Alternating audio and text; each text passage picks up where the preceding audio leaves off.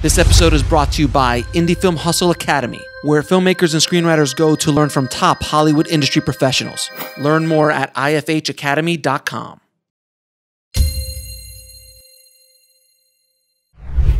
The thing I've always loved about your filmmaking in general is that it has a very specific energy.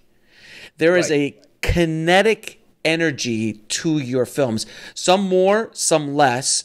So, like, um, The Grey has a different kind of that energy. Um, Right. But then I think the ultimate expression, and please correct me, the ultimate expression of the Carnahan kinetic energy is smoking aces.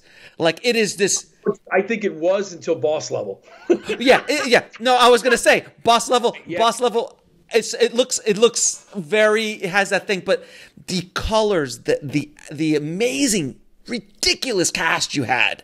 Um, Right, in Right. Smoking Aces, the kinetic energy. I was I was remembering like when I saw it in the theater, it was just like I felt abused after I finished watching it. Like I felt physically assaulted Right. by the by the visuals of it. It was visceral, and Yeah. um, it was so visceral. It, like with the launch with two at least another two sequels, right?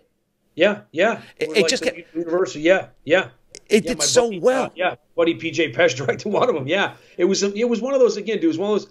I think it was born out of my frustration about Mission Impossible three and this idea that I wanted to do something that was just kind of almost like it's a mad, mad, mad world, right? This kind of you know kind of zany, uh, over the top kind of assault on a penthouse with this kind of. You know, and this this weird magician kind of illusionist at the center of it and and this idea of inter of these interlocking interlo- interlapping stories overlapping stories that that were just kind of um, uh, again my kind of sense of humor and my sense of irony and my sense of the sardonic and all that weird shit and and and it and it was also dude one of those movies I always felt that it was the outgoing regime at Universal kind of their hand grenade in the incoming regime because it was like it was working title.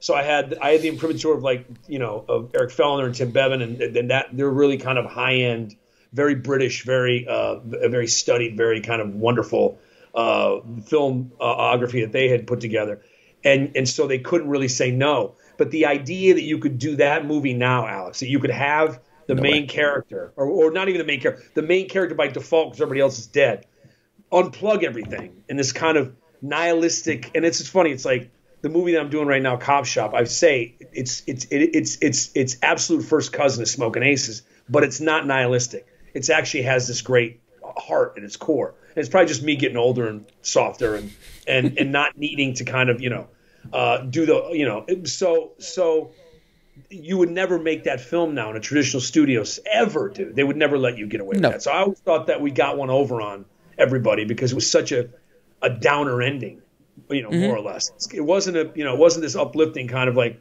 the guy just fucking unplugs everything and sits there and you know disarms himself and throws his FBI credentials on the ground. That's that. It's like, and they let me they let it go. Uh, it never happened now, dude. Ever. You know. Well, well smoking aces, smoking aces would never get made today. Like you just you know what's crazy? Of all the movies I've made, the one that's been the bonanza in residuals is Smoking Aces. Hands down, dude. I've made more money after the fact on that movie than any other film. The A Team, any of them. Like that movie is so weirdly.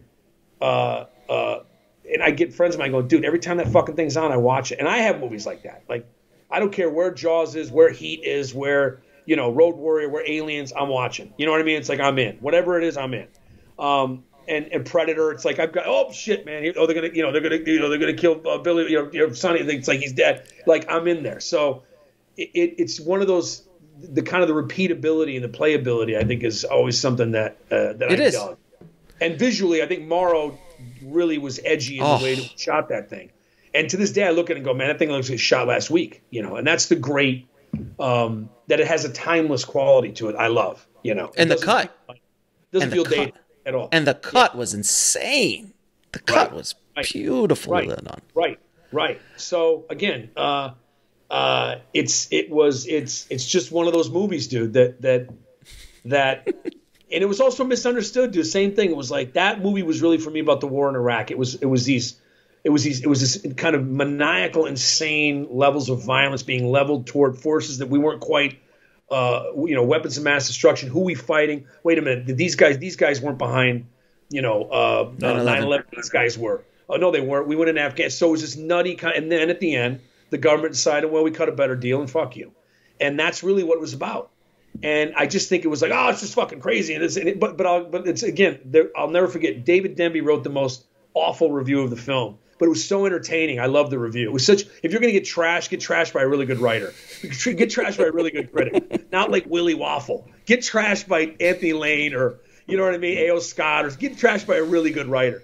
But but it was, and again, I just think to this day, dude, it's there's so many fans of that movie after the fact. Yeah. It's just around, and it's weird. It just plays.